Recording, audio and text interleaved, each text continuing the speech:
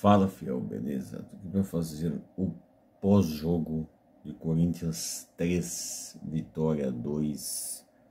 Mas antes de falar sobre essa partida, se você for novo por aqui, se inscreva no canal, deixa o seu like e bora falar deste jogo que na base da raça, da garra, na marra, o Corinthians vence o Vitória e respira no Campeonato Brasileiro. Conseguiu essa vitória. No primeiro tempo, o Corinthians jogou muito bem. Jogou bem, conseguiu o seu objetivo. E no segundo tempo, o Corinthians não voltou para campo.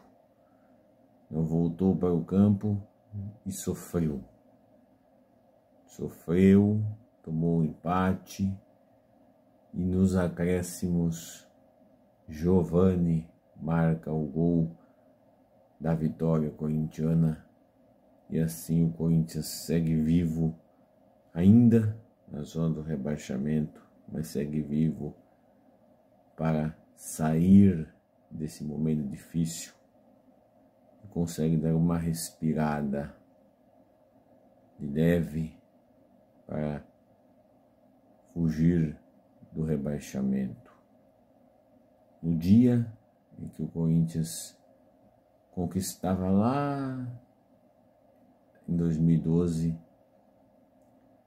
o título da Libertadores da América. Então é isso, um grande abraço a todos, se inscrevam no canal, deixem o seu like e valeu!